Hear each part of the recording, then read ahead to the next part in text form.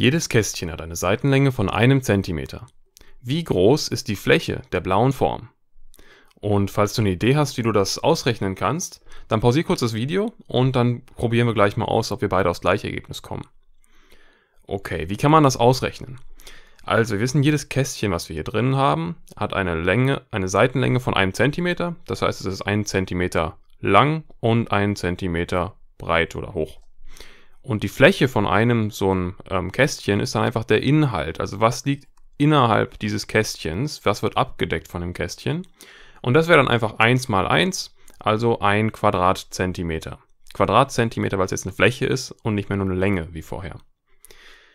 Und jetzt könnten wir anfangen und sagen, gut, dann machen wir, decken wir doch unsere Form mittels unserer Kästchen ab. Also hier wäre das erste Kästchen, hier wäre das zweite Kästchen, das dritte Kästchen und so weiter, bis wir die ganze Form vollständig haben. Und dann wissen wir auch, was die Fläche der Form ist. Ja, das kann man so machen, aber das geht auch schneller, wenn man ein bisschen in Eile ist.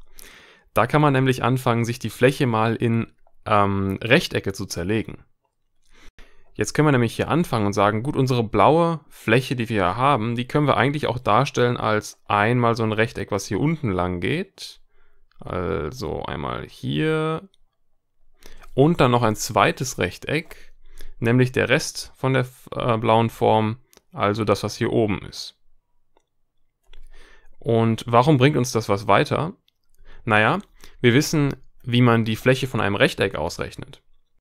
Weil dieses Rechteck hier unten hat jetzt eine Höhe von 1, 2 cm. Also hier sind 2 cm. Und die Breite, wie viele Kästchen ist das breit? Naja, das ist 1, 2, 3, 4, 5, 6, 7 Kästchen breit, also 7 cm breit. Und jetzt wissen wir, die Fläche, also der Inhalt von diesem Rechteck, das, was von dem Rechteck abgedeckt wird, das ist einfach immer die Länge mal die Breite. Also wären das einfach 2 mal 7. Das heißt 2 mal 7, das weißt du vielleicht aus dem kleinen 1 mal 1, das sind 14 cm.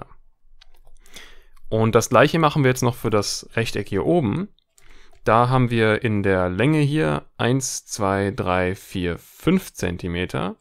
5 cm. Und in der Breite haben wir hier 1, 2 cm. Zwei Kästchen, also 2 cm. Und für die Fläche heißt das ganz genau 5 mal 2 müssen wir da rechnen. 5 mal 2, das sind 10 Quadratzentimeter. Und ich habe hier unten einmal das Quadrat vergessen, vielleicht ist das gerade auch schon aufgefallen. Quadratzentimeter, weil wir jetzt ja wieder von einer Fläche reden. Von einer Fläche, also von dem Inhalt und nicht mehr nur von der Seitenlänge. Deswegen jetzt wieder Quadratzentimeter. Und jetzt wollen wir die Fläche der gesamten blauen Form haben und die ergibt sich dann einfach aus 10 Zentim Quadratzentimeter plus 14 Quadratzentimeter. Und das sind unterm Strich, da mache ich einmal noch einen Strich hier drunter und ein Plus dahin, sind das 0 plus 4 sind 4 und 1 plus 1 sind 2, also 24 Quadratzentimeter.